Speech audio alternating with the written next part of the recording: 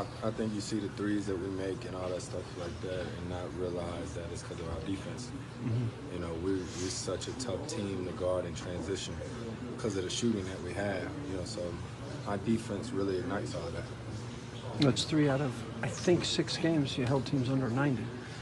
Is, is this team's defense getting, or is there even more room It's for getting there, growth? but we still, yeah, it's, it, it can still get better. And, you know, we keep learning, and that's what I keep saying. That's what's fun about this process is we build and putting, adding little things in. Uh, obviously, it's going to be hiccups here and there, but uh, we, we, we're progressing.